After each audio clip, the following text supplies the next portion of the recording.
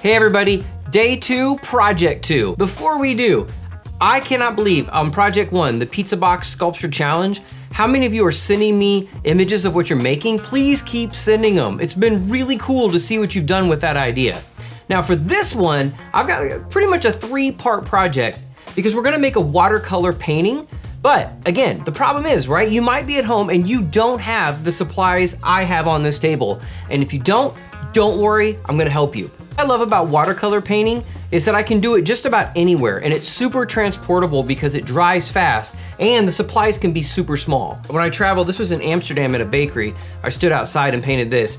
The paper's super thick, it absorbs fast, dries fast. We are going to make our own watercolor paints from scratch. It's very simple to do. I almost guarantee you have these materials at home. Let's get started. We're gonna head upstairs to the kitchen so I can show you all the materials you need to use. All the ingredients or supplies we're gonna need laying out. So let's take a look. First thing, obviously a muffin tin. If you don't have a muffin tin, you could use a paper cup, just keep it simple.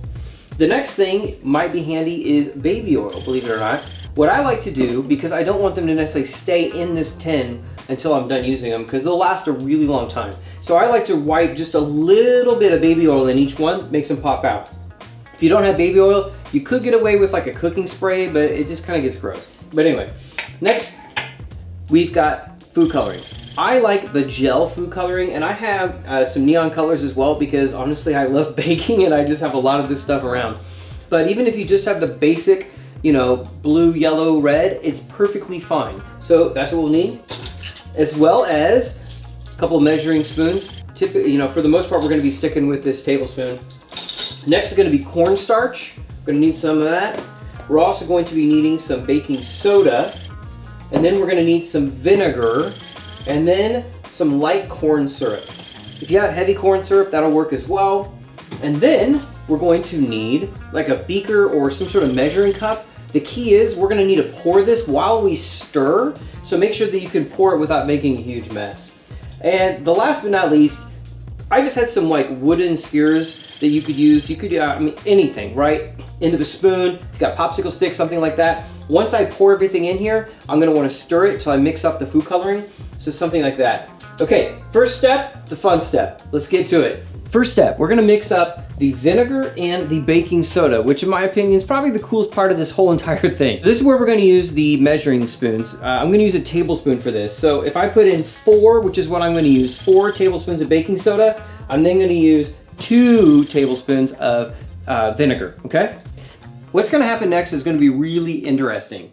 The baking soda is in all essence a base. And then we have the vinegar that is our acid. And when these two combine, a chemical reaction occurs. Basically, and, and keep it simple, the baking soda then is taking an extra proton from the vinegar, the acid, and then they're going to react. And what you get is carbon dioxide and water, which is what makes it bubble, right? If you ever created one of those uh, volcanoes for like a school project or whatever, we're gonna get the same reaction here. And so um, that's why I have the tall beaker.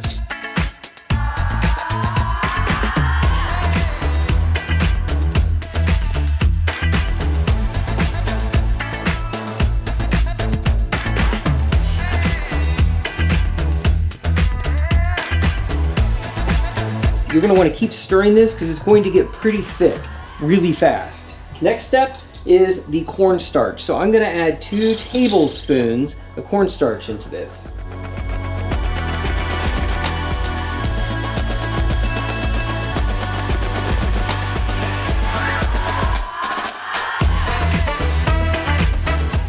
Last but not least, we're gonna add the corn syrup. And I'm only gonna add a half teaspoon to this.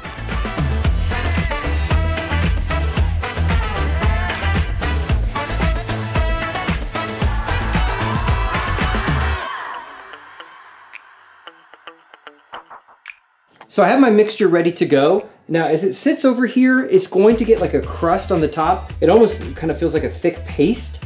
And if it does, you just kind of crunch it up, re-stir it, and you're good to go. Next though, I'm going to go ahead and put, like I said, a thin, thin, thin, very thin layer, uh, just kind of rubbing against the walls in the bottom uh, with the baby oil. That way they'll just pop out real easy later.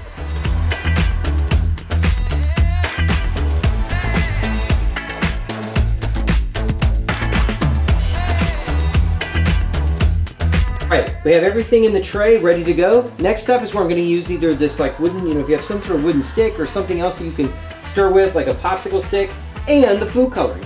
My rule of thumb is six drops um, into each container of what color I want it to be, and then I'll stir it up until it's properly mixed.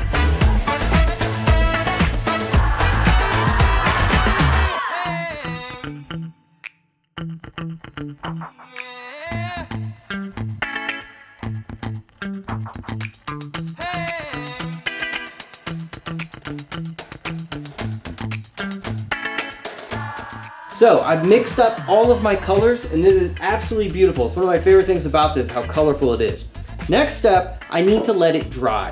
It's gonna take probably about 24 hours, 12 to 24, depending on where you put it. If it's in a really dry place, it'll go faster.